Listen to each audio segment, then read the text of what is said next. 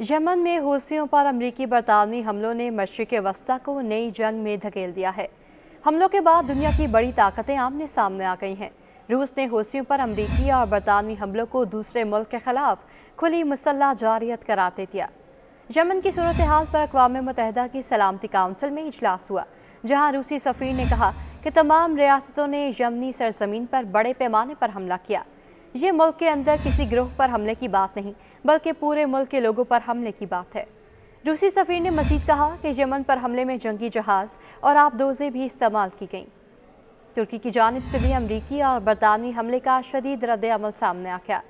तुर्क सदर रजब तैयब बरदवान ने इन हमलों पर तनकीद करते हुए बरतानिया और अमरीका पर इल्ज़ाम आयद किया कि वो बहरे अहमर को खून के समंदर में तब्दील करने की कोशिश कर रहे हैं। फ़लस्तनी तंजीम हमास ने भी यमन के खिलाफ अमरीकी और बरतानवी जारियत की शदीद अल्फाज में मसम्मत की है। गैर मुल्की मीडिया रिपोर्ट्स के मुताबिक, हमास की जानब से जारी बयान में कहा गया कि खत्े की सलामती को खतरे में डालने का जिम्मेदार अमरीका को ठहराते हैं। हमास ने कहा कि अमरीकी हमला जर्म यमन के खिलाफ जारियत और सलामती के लिए खतरा है। अमरीका और बरतानिया सेहूनी कब्जे को बचाने इसराइली जराइम पर पर्दा डालने के लिए आए हैं। हमास की जानब से जारी बयान में कहा गया कि जंग में फ़लस्तनी अवाम के साथ खड़े होने पर यमन और उसके अवाम की कदर करते हैं। वाज रहे कि गुजशत रोज़ अमरीका और बरतानिया ने यमन में हूसियों के खिलाफ नया महाज खोल दिया और फ़लस्तियों से हिमात के इजहार में पेश पेश रहने वाले यमनी हूसियों के खिलाफ अमरीकी और बरतानवी तैयारों ने बमबारी शुरू कर दी। दारकूमत सना में भी धमाकों की आवाज़ें गूंजने लगीं।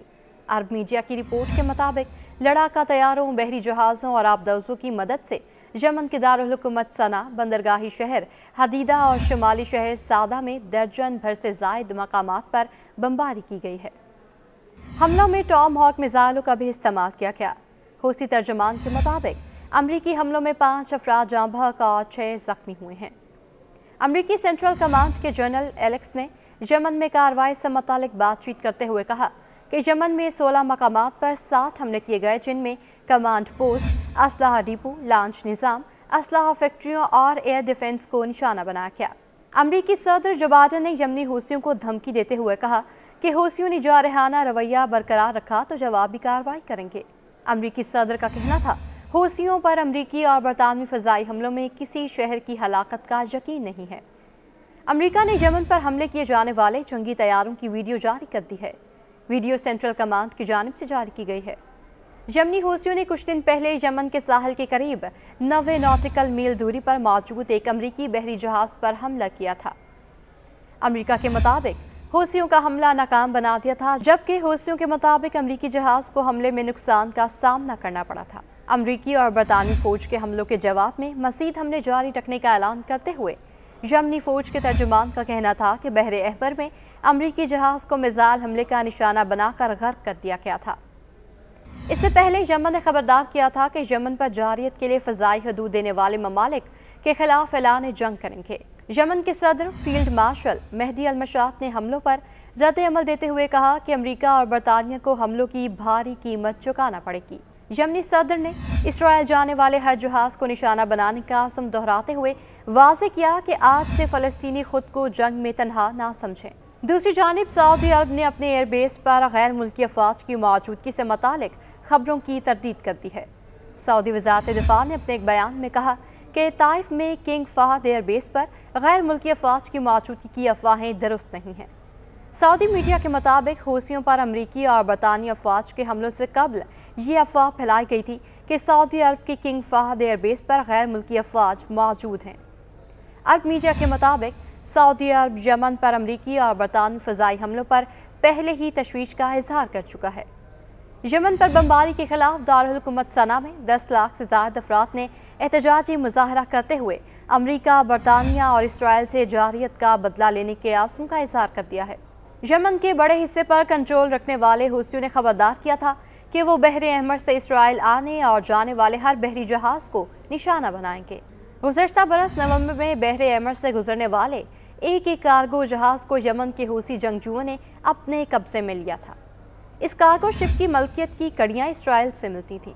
गुजशत दो महीनों के दौरान हूसियों ने बहरे अहमद से गुजरने वाले मुताद तजारती जहाज़ों को रॉकेटों और ड्रोन से निशाना बनाया है।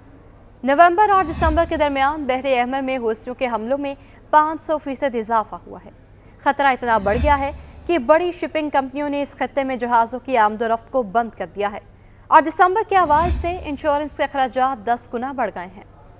इंटरनेशनल चैम्बर ऑफ़ शिपिंग का कहना है कि दुनिया के 20 फ़ीसद तजारती बहरी जहाज़ बहरे अहमर से गुजरने में गुरेज कर रहे हैं और इसकी बजाय अफ्रीका के जनूब से ज़्यादा तवील रास्ता इस्तेमाल कर रहे हैं।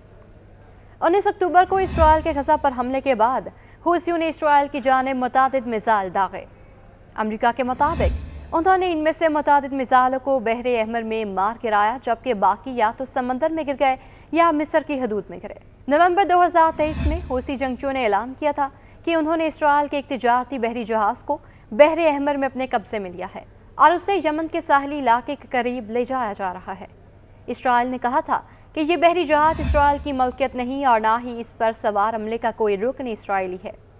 लेकिन गैर मुसदा इतलाक के मुताबिक शायद जहाज़ का मालिक इसराइली शहरीत ही रखता है।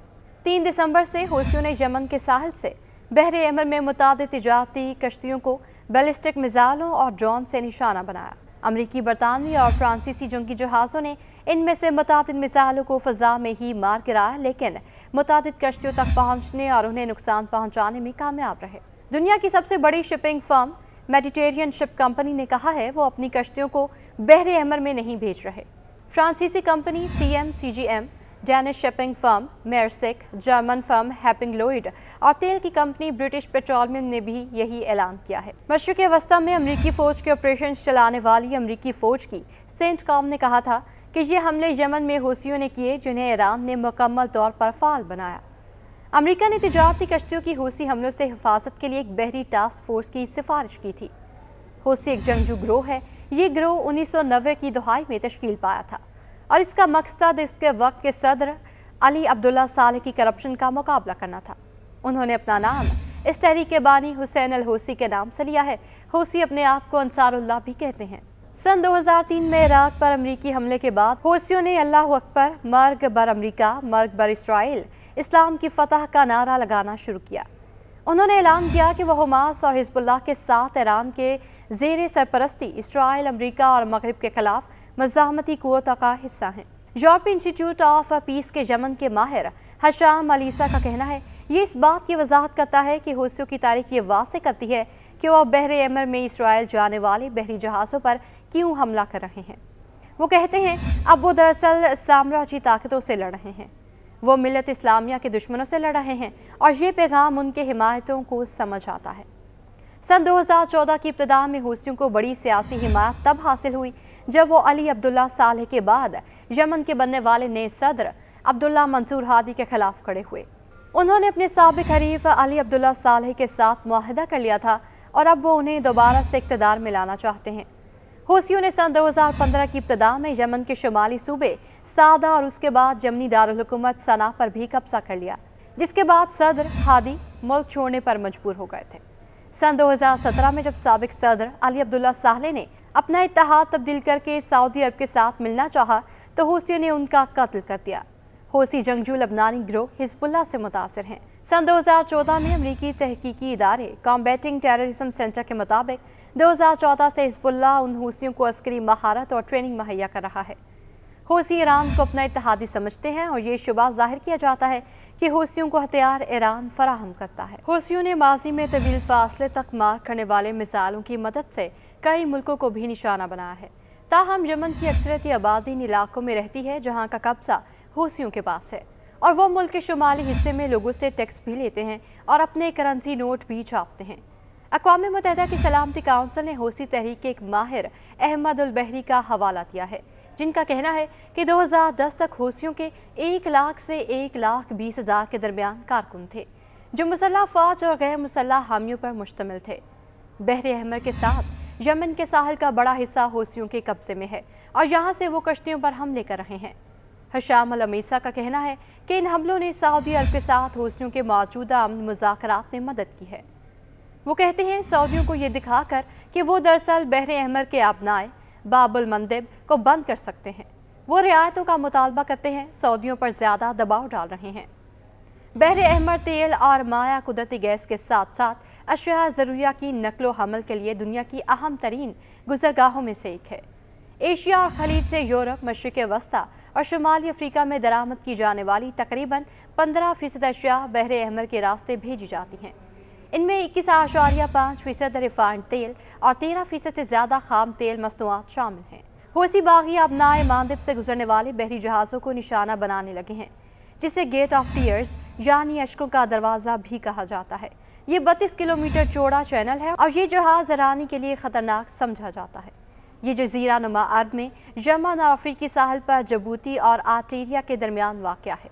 ये वो रास्ता है जिससे बहरी जहाज़ जनूब से नहर स्विस तक पहुँच सकते हैं, जो एक अहम समंदरी रास्ता है।